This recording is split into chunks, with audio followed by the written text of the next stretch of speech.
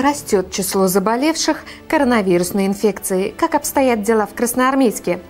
Молодые активисты убрали банный лес в рамках акции «Чистый город». А теперь об этих и других новостях более подробно вы смотрите новости Красноармейска в студии Юлия Репина. Здравствуйте. С начала 2001 года в Красноармейске было выявлено более 400 заболевших COVID-19. В последние недели отмечается рост заболеваемости. О ситуации в городе с новой коронавирусной инфекцией рассказал начальник медсанчасти 154 Илья Копылов. С начала года мы выявили более 400 заболевших, из них, э, к сожалению, еще 21 ребенок по последним отчетам э, инфицированных ковидом. Э, на последние недели, 2-3 недели, действительно отмечается рост выявленных заболевших коронавирусной инфекцией и отмечается рост количества выездов скорой помощи и госпитализаций в ковидные центры. А в цифрах это можно вот как-то отобразить? Да, в цифрах можно, но э, порядка порядка э, 10-12 человек в день может быть выявлено. Из них один-два ребенка бывают выявляется. Но это, естественно, не каждый день. То есть получается, что возрастная картина заболевших, она изменилась, да, с начала года? Ну, э, изначально действительно э, первыми штаммами вирусов больше всего болели э, пожилые действительно жители. На сегодняшний день мы отмечаем помолодение если можно так сказать, э, пациентов э, больше встречается больных людей, именно больных, не инфицированных, а больных людей среднего возраста, это в районе 40 лет, и появляются действительно дети, именно больные дети, не инфицированные, а больные дети. Как дети переносят это заболевание? Ну, на самом деле не так много детей действительно инфицированы, и не так много больных, но в тяжелом состоянии, кстати говоря, их не так много. Э, слава богу, все выздоравливают. О каком возрасте детей мы говорим? Э, совершенно различные возраста. То есть, ну, можно сказать, что там от года болеют? Э, ну, естественно, да. Младенцы, младенцев нет. А как проводится госпитализация, если врач фиксирует тяжелое течение болезни? Да, если врач или э, фельдшер скорой помощи зафиксировали тяжелое состояние пациента, а, у каждого есть э, телефон, номер телефона э, Центра госпитализации. Он организован в Московской области при Московской областной станции скорой помощи. А, врач или фельдшер связывается с данным центром и организует транспортировку санитарным транспортом данного пациента. Чаще всего куда перевозят пациентов из Красноармейска? А, адреса совершенно разные, но, наверное, чаще всего по территориальному признаку это Сергиев Посад. А, Илья Юрьевич, а сколько жителей города уже привились?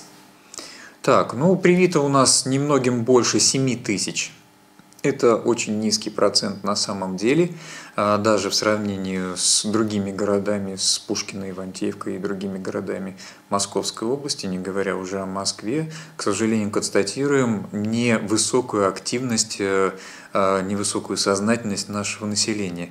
Хотя э, имеем данные о том, что некоторые жители просто прививаются там, в Москве, в других городах, но, к сожалению, мы не имеем об этом данных поэтому не можем отразить ту точную статистику а, о том, сколько реально привитых э, э, жителей нашего города э, имеется.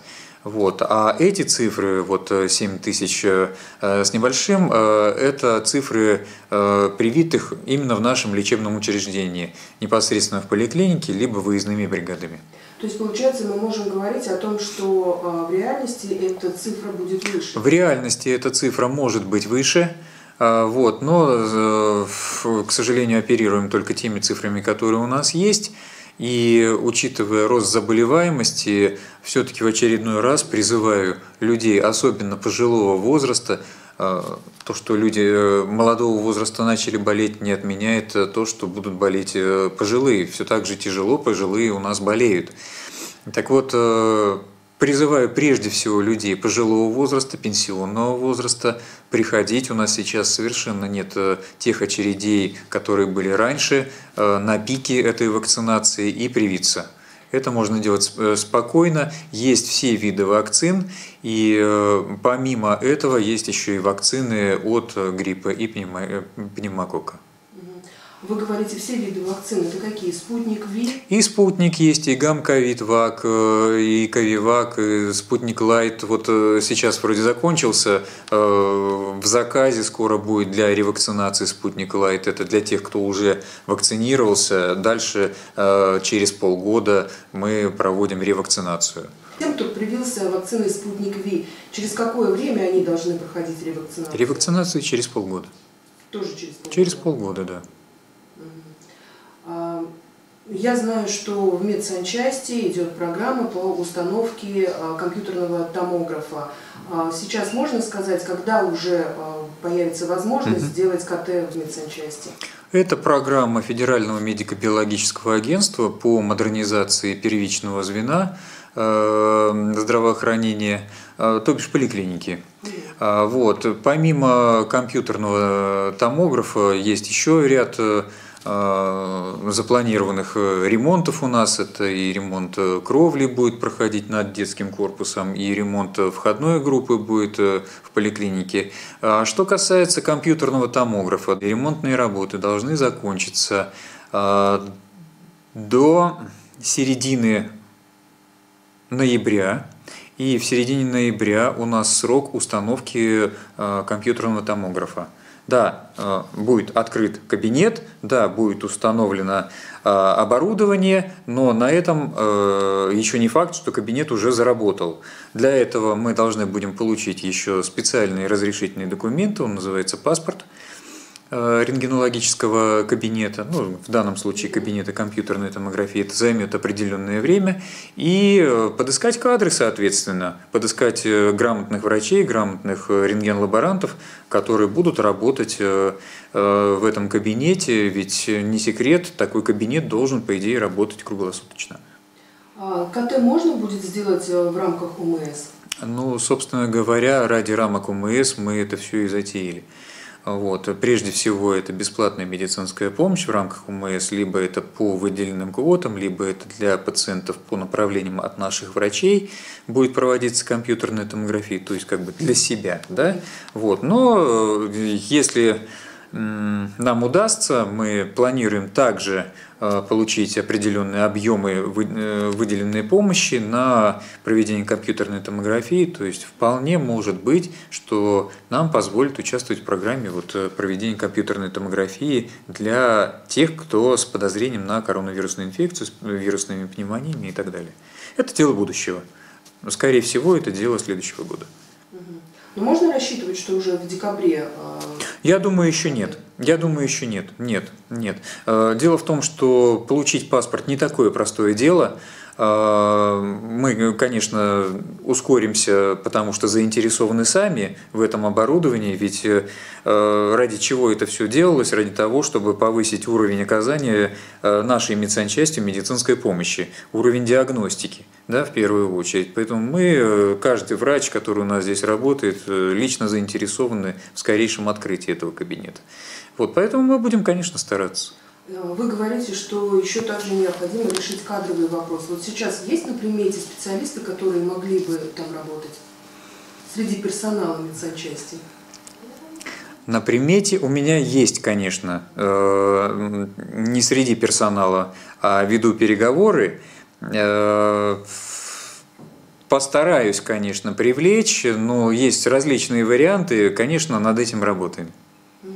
Илья Юрьевич, ну и в заключение хотелось бы от вас услышать, э, какие э, врачи все-таки дают рекомендации по профилактике того, чтобы не заболеть коронавирусом. Угу. Но это самый э, ближайший друг всех наших жителей, это участковый терапевт. То есть э, и лечение амбулаторное э, пациентов с коронавирусной инфекцией, с пневмониями, вирусной этиологией какой-то другой или бактериальной, это все возложено на плечи наших участковых терапевтов. Вот, поэтому и лечение, и профилактика – это все вопросы, э, касаемые коронавирусной инфекции, все это э, дает разъяснение на, на эти темы участковый терапевт. А, ношение масок, соблюдение других мер санитарной безопасности индивидуальных, то они сейчас до сих пор актуальны? Они актуальны, конечно. Конечно, актуально. Ну, посмотрите, только-только расслабились и получили, мало того, что новые штаммы, да, а, получили рост заболеваемости. Вот. Э, и, в принципе, это ведь происходит, э, вот каждая волна, перед каждой волной у нас э, ослабление каких-то жестких мер происходит. Меры расслабили, сняли маски, стали общаться более тесно, ходить друг к другу в гости, пошел рост заболеваемости. Это, это естественно и это понятно. Вот, поэтому, конечно, ношение масок – это одна из мер. Вакцинация – это вторая мера. Есть еще ряд мер, ну, элементарно мыть руки, да, почаще. В общем-то, соблюдение любых гигиенических мер, оно влечет к уменьшению заболеваемости. Красноармейске прошла акция «Чистый город». Ее организовали активисты молодежного центра города Ивантеевки. Поддержали их и ребята из Красноармейска. Вместе они смогли убрать несколько мешков мусора с территории банного леса. Накануне выходных несколько десятков молодых людей вышли на уборку банного леса в Красноармейске. Экологическую акцию провели члены молодежных центров городского округа Пушкинский. В ней приняли участие ребята из Красноармейска, Ивантеевки и Пушкина. У нас сегодня проходит акция «Чистый город». Мы с ребятами, с активистами, сотрудниками молодежных центров трех городов уже объединенных э, будем убирать лес. Я знаю, что подобные акции проходили в Пушкино и в Ивантеевке. Много мусора собрали? Честно, да, очень много мусора. Вот вчера буквально была акция в Ивантеевке, мы собрали порядка 10 вот мешков э, черных больших пакетов.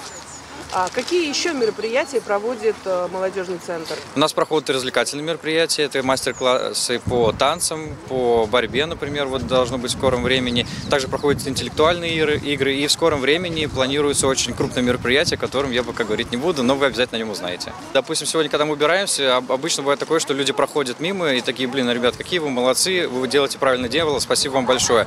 Бывает даже такое, что они даже сами помогают, подходят, а что нужно сделать, чтобы вам помочь. Мы им даем перчаточки, они там две бутылочки выкинут, ну и уже хорошо. Поэтому бывают положительные отзывы. Бывает, конечно, негативные, без этого никуда, но мы все, естественно, доступным языком объясняем, говорим, почему мы здесь, что мы здесь занимаемся добрым делом и так далее. А сколько всего э, человек, ну, активистов в вашем движении, в вашем центре? У нас э, на наш округ весь более 100 активистов. Это прям ребята, которые 100% готовы прийти на помощь, готовы идти на мероприятия, готовы организовывать мероприятия, что немаловажно. Потому что наши активисты – это ребята не те, которые только участвуют в мероприятиях, но они сами могут их придумать, прописать. Мы их направляем, помогаем где что подкорректировать и всегда готовы им помочь. А поделитесь контактной информацией, потому что вот сейчас люди посмотрят интервью, возможно, кто-то захочет к вам присоединиться, вот как ему это сделать? Да, у нас есть, соответственно, социальные сети, это Инстаграм и группы ВКонтакте. А, можете найти КМДЦ Актив в Инстаграме, также ВКонтакте, а, Молодежный центр Союз, а, также поколение трех аккаунт э, очень такой широко известный, например. И Пушка 29 это Пушкина. Это все вы? Да, это все мы. Вооружившись перчатками и мешками, ребята рассредоточились по лесопарку.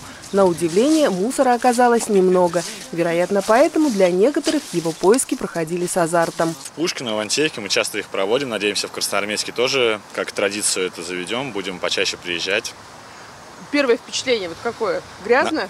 На... Нет, на самом деле довольно сложно собирать мусор, потому что лес чистый э, довольно-таки. Вот, это радует. Э, значит, люди, которым не все равно, принимают участие в уборке. Пустые бутылки, фантики, обертки чаще всего находили ребята, но были и необычные находки. Кетики-то нормально. Постирать и носить. Да, Я за чистый город, чтобы все было чисто и красиво. А, сейчас вот э, сколько, я не знаю, ну полчаса, наверное, вы походили. Много мусора? Ну, достаточно. Не так много, как я думала, но достаточно. Бывает такое, что кидаешь бумажку под ноги? Нет. Почему? Потому что меня мама с детства приучила не бросать мусор. Ну а если фантик у тебя в руках, а урны поблизости нет, что Я сделаешь? положу в карман и дойду до ближайшей мусорки. Ты впервые принимаешь участие вот в такой акции? Скорее всего, да. По словам организаторов акции «Чистый город», в дальнейшем они также будут привлекать ребят из Красноармейска к работе молодежного центра городского округа Пушкинский. Объяснить малышам строение человеческого тела – задача не из простых. Конкурс «Смотр» на лучшее научное пособие поможет разобраться в теме. В детском саду «Малыш» прошел смотр-конкурс на лучшее многофункциональное пособие для дошкольников по теме строения организма человека. Воспитатели и родители приложили немало сил, мастерства и смекалки, чтобы интересно раскрыть эту тему. Все пособия разработаны с учетом возрастной группы детей, для которой они создавались. Так, воспитатель младшей группы Наталья Федотова подготовила настольные игры пособия для малышариков, по которым только начинают знакомство с частями тела, органами чувств, эмоциями. Ирина Куркова, воспитатель старшей группы, решила усовершенствовать пазл и изготовила к нему объемные детали внутренних органов. Теперь собирать его ребятам стало интересней. В конкурсе приняли участие 8 воспитателей. Жюри выбрало трех победителей. Все они заняли первое место. Наталья Кайкова представила разработку по формированию детей знаний о строении зуба. С помощью него в игровой форме ребята могут узнать, как правильно чистить зубы щеткой, какие продукты полезны полезны для эмали и что разрушает ее. И самое главное, кто живет внутри зуба и почему возникает зубная боль. Второй победитель Светлана Коврижных представила пособие по анатомии тела человека. Его изготовила мама одной из воспитанниц Симакова Валерия. Скелет человека, внутренние органы, нервная и пищеварительная система сшиты из фетра. Конечно, такую кропотливую работу оценили по достоинству. И третий победитель Татьяна Авдеева и наглядная система кровоснабжения, изготовленная на основе пластикового манекена с помощью инфузионной системы спринцовок. Сердце мы знаем, что главный, самый важный орган человека. И поэтому я решила, что детям будет очень-очень интересно увидеть, как кровь вращается по нашему организму, как она э, переходит из одной крови в другую, как она ходит из домика в домик, и как ребятам будет очень-очень интересно, и они будут знать о том, что сердечко надо свое беречь. Я взяла, разбавила марганцовку, сильный раствор и слабый. Слабый у нас идет алая кровь, это артериальная кровь, когда она поступает в органы, когда выходит уже из органов, она уже бывает венозной кровью, и она идет теперь в легкие для того, для очищения кислорода. Все пособия будут применять на занятиях, чтобы сформировать у детей систему знания о строении организма человека. В детском саду «Березка» проходит педагогическая мастерская «Современные образовательные технологии как средство речевого развития». Какие игры для развития речи можно взять на прогулку и как научить дошкольника пересказывать текст? Об этом расскажем далее. Сотрудники детского сада «Березка» приняли участие в педагогической мастерской под названием «Современные образовательные технологии, используемые в речевом развитии дошкольников». Звучит замысловато, на практике увлекательно. В последнее время на занятиях со школьниками стало популярным использовать методический прием под названием «Синквейн», который представляет собой составление стихотворения, состоящего из пяти строк. При этом написание каждой из них подчинено определенным принципам и правилам. Воспитатель Светлана Пухова адаптировала эту технологию для дошкольников, заменив слова на картинке. Вода. Она поливает поля и сады.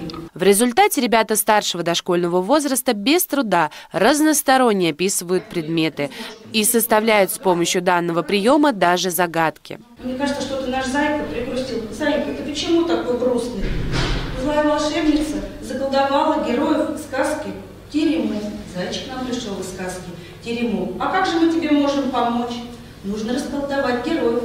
Для этого вам понадобится модели полосочки. Воспитатель Ольга Чернышова рассказала о тонкостях метода наглядного моделирования при обучении детей пересказу и поделилась разработкой занятия. В финале воспитатели на практике составили мнемотаблицы «Сказки теремок» и пересказ по ним. Учитель-логопед Наталья Островерхова провела тренинг организации речевых игр в процессе свободной деятельности и на прогулке. Вы предлагаете ребенку рассказать, что бы он сделал с этим предметом, который. Ребенок должен вам в ответ составить развернутую фразу. Я шел, шел, шел, шишку нашел, и эту шишку я подарю белочке. Я шел, шел, что-то тут, карандаш нашел. Я нарисую небо. Это игры, которые педагоги могут э, организовать в свободной деятельности детей на прогулках, в группе, да, вне занятий. Для того, чтобы речь ребенка развивалась, э, педагоги могут поиграть с детьми в предложенные мной сегодня игры. Например, самая простая игра для формирования лексико-грамматического строя ребенка – это игра «большой-маленький», или можно ее по-другому назвать «великаны-гномики». Мы предлагаем ребенку э, взять предмет у великана большой и подарить ему гномику. Для этого он должен стать маленьким. Например, стол, превращаем в столик, стул, превращаем в стульчик. Простая очень игра. Ее можно организовать по дороге в садик, в автобусе в дороге где-то, да, то есть, ну и принести, принести ребенку пользу. А еще слова можно прошагивать по слогам, разделять по категориям, например, сладкие, веселые, или доставать из мешочка, составляя с ними предложение. Белый мишка шел по снегу, сам собой он вел беседу. Ры-ры-ры, ру-ру-ру, много снега наберу. Консультацию с элементами практикума по ритмодекламации провела музыкальный руководитель Ольга Кряжева. Во время упражнений, представленных педагогом, участники искали, отбивали ногами, прохлопывали ладонями ритм. В ход пошли металлофоны, оригинальное музыкальное сопровождение и даже ортопедические массажные коврики. Шаг, шаг, шаг. Педагогическая мастерская закончилась торжественным награждением в честь празднования Дня дошкольного работника. Грамотами Министерства образования за многолетний плодотворный труд и успешную работу по обучению и воспитанию детей дошкольного возраста наградили воспитателя Наталью Шальнову и старшего воспитателя Ольгу Пташкину. И грамота от Министерства просвещения Российской Федерации за добросовестный труд и заслуги в сфере образования пополнила копилку воспитателя Ольги Минаевой. Праздник Покрова, отмечаемый в середине октября, был издавна самым любимым на Руси. С этого момента от полевых работ переходили к ремесленным. Этим и другим народным традициям было посвящено мероприятие «Покров» в детском саду «Малыш». Досуговое мероприятие «Здравствуй, праздник наш Покров» подготовили воспитанники подготовительной группы «Теремок» детского сада «Малыш». Вся красота народного фольклора и традиции нашла отражение в этом празднике. В старину в это время часто выпадал первый снег, поэтому праздник открыл танец со снежками. А еще считалось, что если в этот день натопить печь березовыми дровами, то всю зиму в избе будет тепло.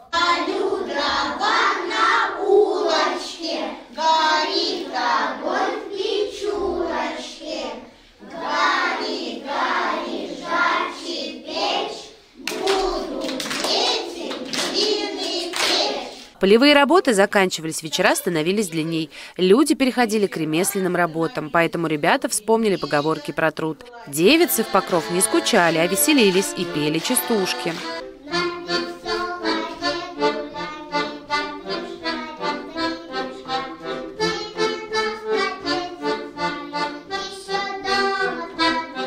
Испокон веков на Руси с праздника Покрова Богородицы начиналась череда свадеб. Семьи, созданные в это время, считались самыми крепкими и счастливыми. Эту народную традицию ребята показали в игре «Сиди, Яша». «Сиди, Яша» – это игра «Выбирай невест». И что, сегодня кто-то у вас в группе выбрал невесту? Да. Да. А кто? Я.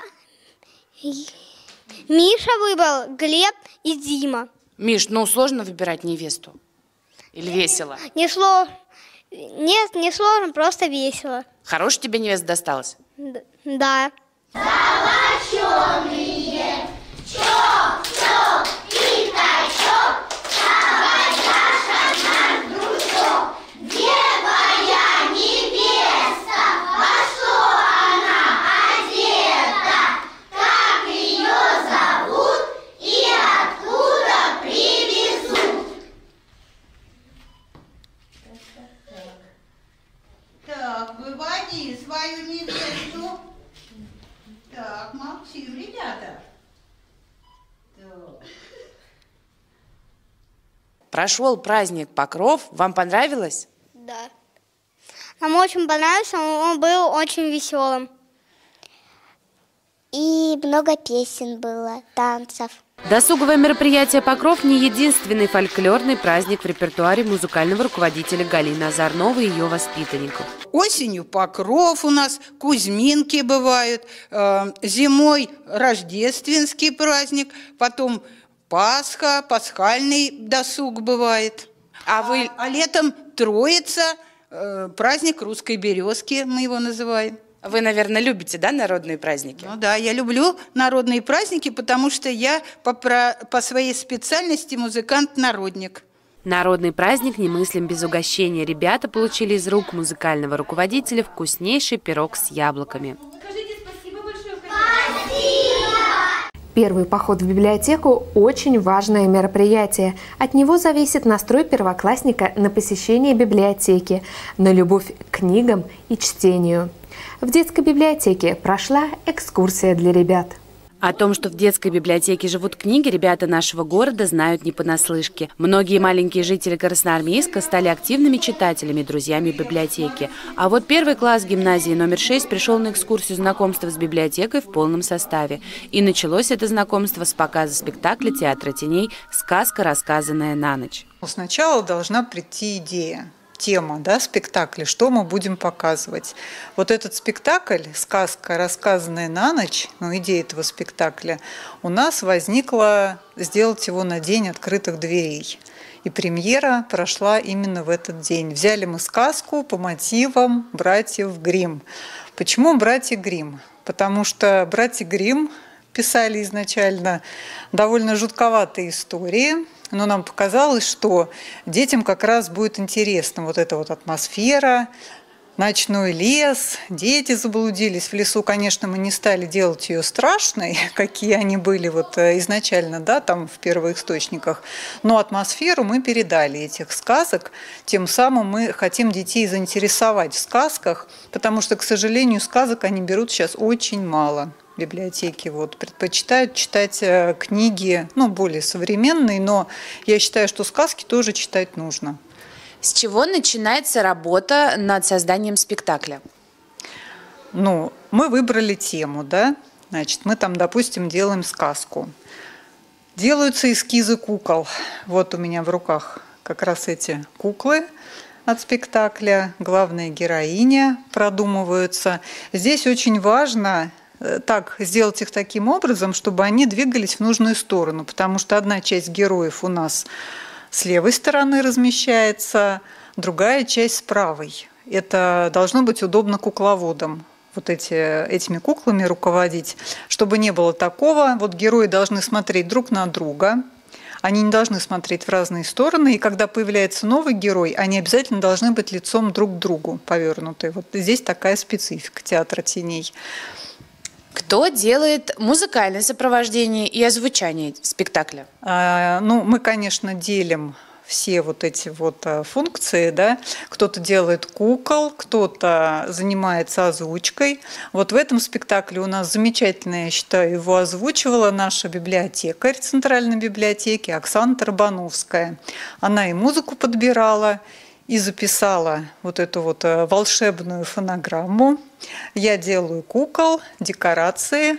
Аня Гаврилова у нас работает кукловодом. Поэтому у нас у каждого своя роль и свое занятие. Много ли репетиций у вас перед премьерой проходит? Репетиций очень много. Репетируем каждый день, потому что это на самом деле очень сложно подстроиться под фонограмму, ничего не забыть. А, быстро меняются декорации. Это надо вот в голове иметь э, весь сценарий спектакля. И быстро это все и декорации менять, и менять кукол. Поэтому репетируем с утра до ночи. Современная библиотека не только собрание книг и журналов, но и пространство, где происходит много интересного. В читальном зале ребята узнали о том, что в детской библиотеке проводятся мастер-классы и лекции, показывают кино и спектакли, проводят конкурсы и квесты, организовывают кружки, устраивают игротеки и встречи с писателями.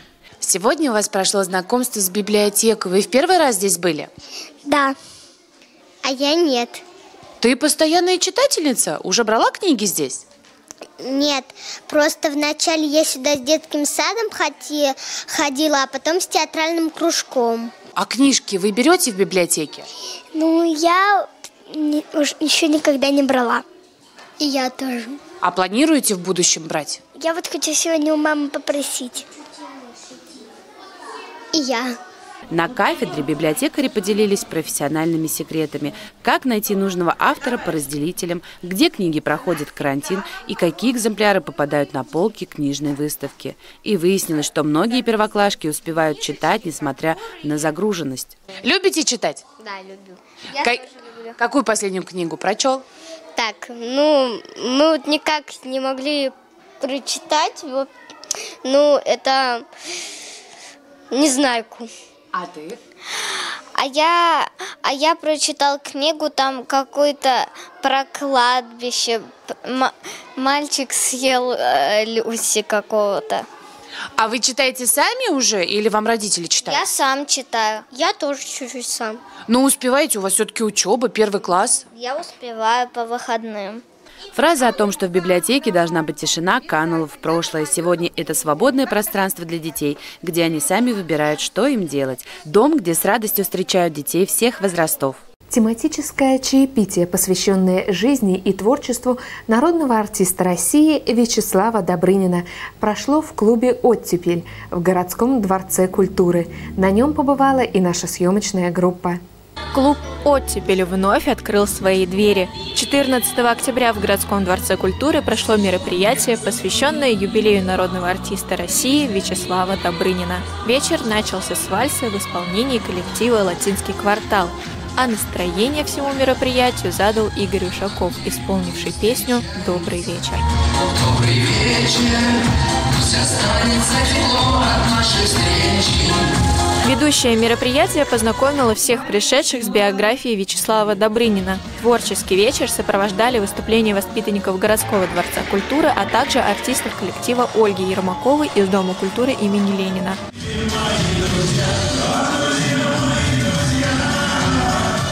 За годы своей творческой жизни Вячеслав Добрынин написал десятки композиций, которые стали шлягерами и хитами. Его песни знают и поют люди разных поколений. Гости мероприятия с удовольствием подпевали артистам, исполняющим хиты Добрынина. А когда на экране показывали отрывки из его концертов, зрителям трудно было усидеть на месте. Все без исключения выходили на танцпол. Впечатления очень яркие, очень замечательные, поскольку мы люди домашние, уже закончили свою работу и редко выбираемся из дома. У кого-то внуки, у кого-то другие домашние дела. И вот такие мероприятия, которые вытаскивают нас из дома и позволяют нам немножко почувствовать полноту жизни, это замечательно. Так, в теплой дружественной обстановке, за чашкой чая с песнями и танцами прошла очередная встреча клуба «Оттепель». На этом у меня все. Я с вами прощаюсь и напоминаю, что официальные группы телеканала есть во всех популярных социальных сетях. Смотрите нас, подписывайтесь, заходите на сайт tv.krasno.ru, скачивайте мобильное приложение «Красно Лайф», и вы всегда будете в курсе городской жизни.